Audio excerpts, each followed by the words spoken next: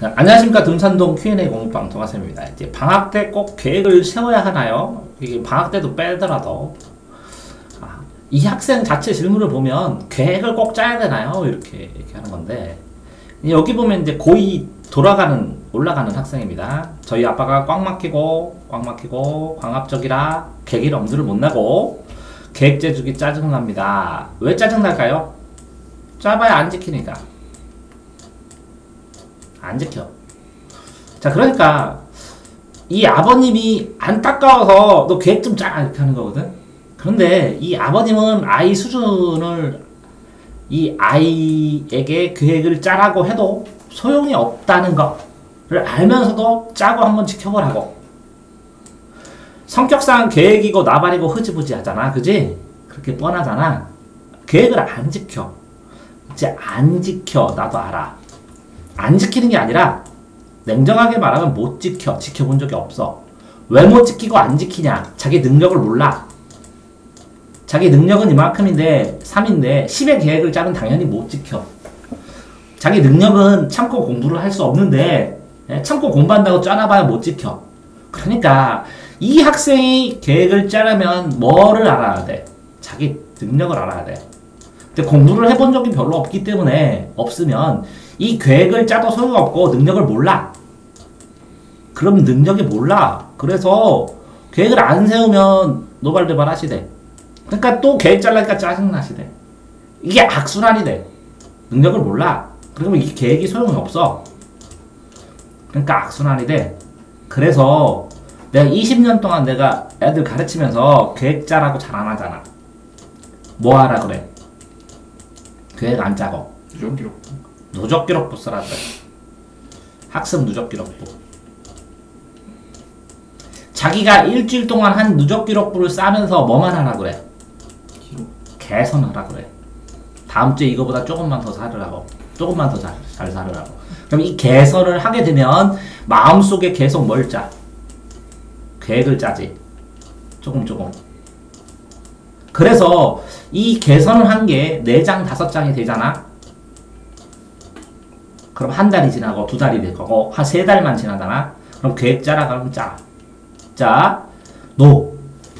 누적 기록부 쓰다가 계획 짜는데 얼마큼 걸렸어? 어 5개월? 그럴 그럴 걸요. 5개월 지난 다음에 내가 계획 짜봐. 그러니까 짜지지? 네. 5개월 전에는 못 아, 짜. 네.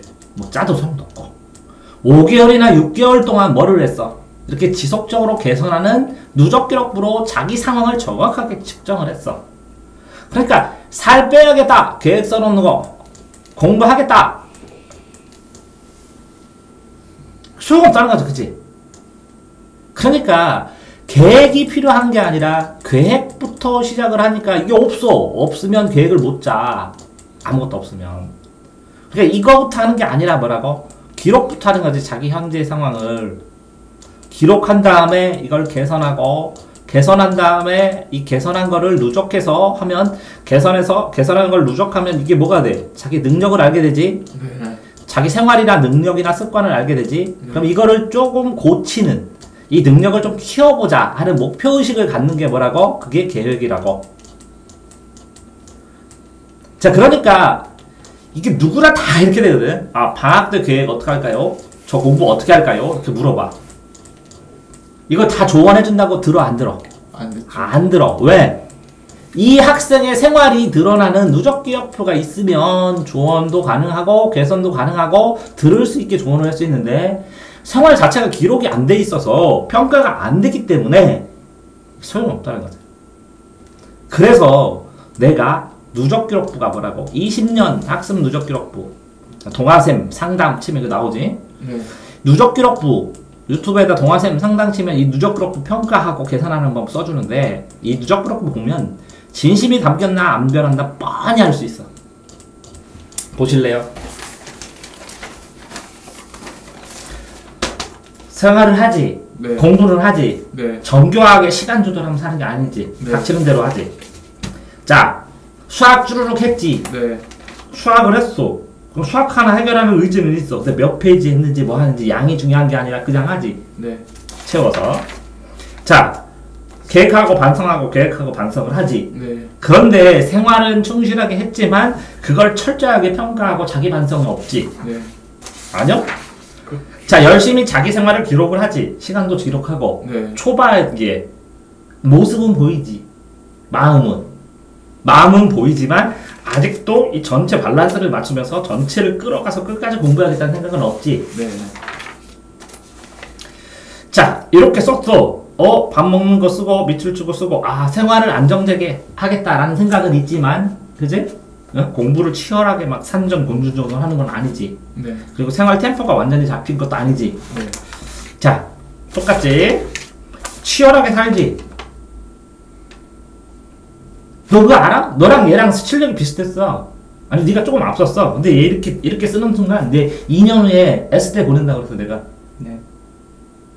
여기 태식이가 그러더라고. 얘갈 확률이 90%는 된다고. 2년 남았어. 너도 2년 남았고. 학습 누적 기록부입니다.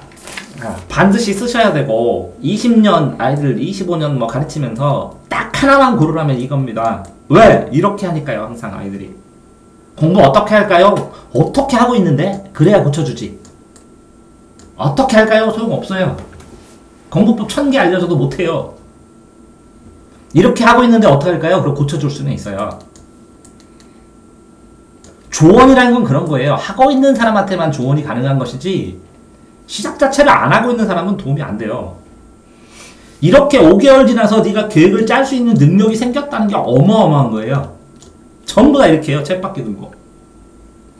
계획이 중요한 게 아니라 뭐라고요? 공부한 거를 실천 기록하는 게 중요해요. 딱 하나입니다. 공부 잘하려면 요거 하나만 하시면 됩니다. 수고하셨습니다.